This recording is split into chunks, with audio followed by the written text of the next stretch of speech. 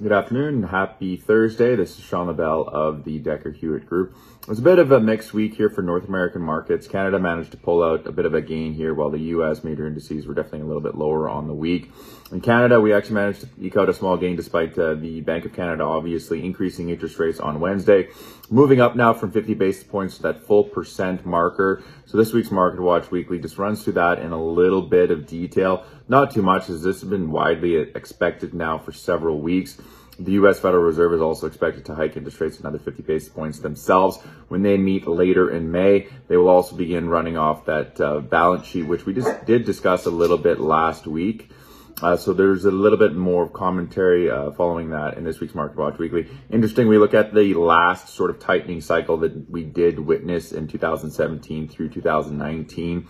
There's a really good chart in there that just illustrates the S&P 500 returns along with the U.S. Federal Reserve's balance sheet. Uh, surprisingly, we did see some pretty impressive returns for the first 12 months of the tightening cycle. It wasn't until the back half of 2018 when we got a little bit uh, hawkish out of the U.S. Federal Reserve. There was also that looming trade war with the Trump administration and China. That did really mess up uh, the geopolitical scene and a lot of supply chains. That's obviously very different from what we're seeing in Russia right now, as China is obviously one of the U.S. largest trading partners. But anyways, we encourage you guys to take a look at that report. So like I said, it's a really good illustration of what to expect here probably in the next little bit. And we will end it on that note. Hope you guys enjoy the upcoming long weekend and we will talk to you again next week. Cheers.